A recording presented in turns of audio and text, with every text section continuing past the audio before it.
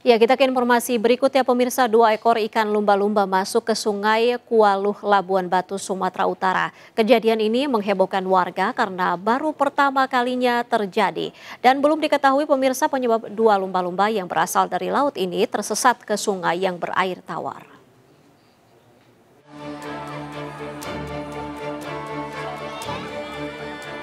Ratusan warga yang tinggal di desa Kualuh Beringin, Kualuh Hulu, Labuhan Batu Utara berbondong-bondong menyaksikan dua ekor ikan lumba-lumba yang terlihat di sungai Kualuh.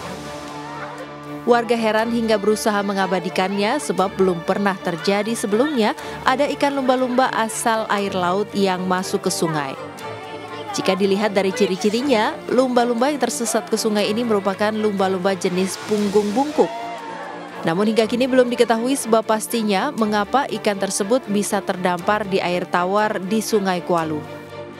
Setelah satu hari ditemukan warga di Sungai Kualu, kini kondisi kedua ikan mulai terlihat lemas, tidak melompat selincah saat hari pertama ditemukan warga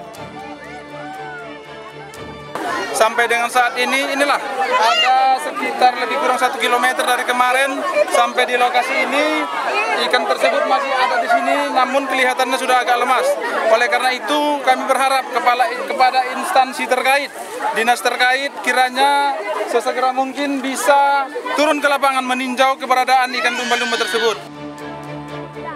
Rencananya pihak BBKSDA Sumut dibantu warga akan mengevakuasi ikan lumba-lumba ini ke habitatnya di laut lepas hari ini. Dari Labuan Batu Utara, Sumatera Utara, Fahrizal, iNews melaporkan.